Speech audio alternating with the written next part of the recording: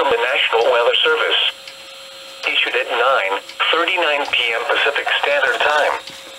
The National Weather Service in San Francisco has issued a flash flood warning for the Walbridge portion of the LNU Lightning Complex burn area in north central Sonoma County in Northern California until 11 p.m. Pacific Standard Time.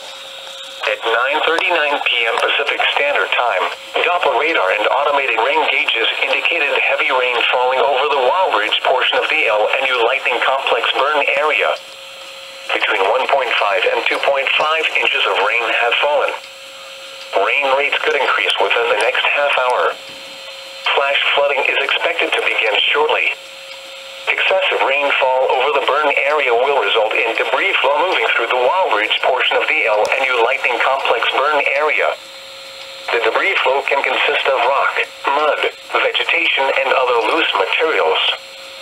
Hazard, life-threatening flash flooding. Heavy rain producing flash flooding in and around the Walbridge portion of the LNU Lightning Complex burn area. Source, Doppler radar and automated gauges. Impact, life-threatening flash flooding of areas in and around the Walbridge portion of the LNU Lightning Complex burn area. Some locations that will experience flash flooding include mainly rural areas of north central Sonoma County. This is a life-threatening situation for people in or near the Walbridge fire burn area.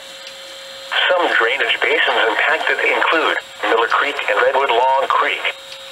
Move away from recently burned flooding of creeks, roads, and normally dry arroyos is likely. The heavy rains will likely trigger rock slides, mudslides, and debris flows in steep terrain, especially in and around these areas.